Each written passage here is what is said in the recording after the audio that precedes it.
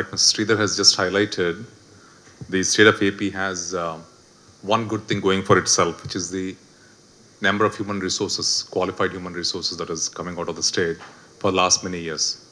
So IT industry, as all of you know, is largely a combination of physical infrastructure, human talent, and then what we call as a social infrastructure.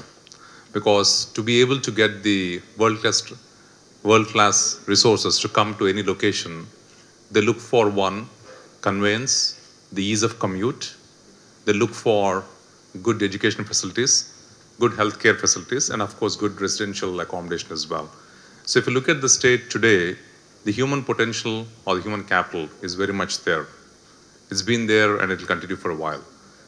The infrastructure, again, if you go with what the government initiatives are in terms of uh, looking at the, not just the capital region itself, but looking at the interlinking of the corridors, the road network across the state, and looking at some of the metro rail projects and all, the physical infrastructure again is picking up.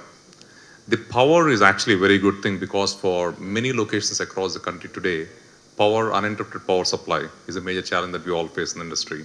The good thing about the state is that the power is now available uninterrupted. The one area where the state right now is a little behind compared to some other metros is what we call as social infrastructure. That is one area that, would be very useful to excite and enthuse the IT industry to come to the state and take it forward. In terms of the, the state itself, the another area where the state can leverage very heavily is the domain that is already there. Whether you look at the shipping, whether you look at the steel plants and manufacturing that is available in Vizag already, or whether you look at the oil and natural gas. These are three domain areas where there is an established expertise, there's an established uh, industry segment already in the state. And IT industry also is not just IT alone in its own standalone perspective, but also is dependent on various verticals. That is where the domain expertise that is already there can be leveraged in terms of the growth and investments as well.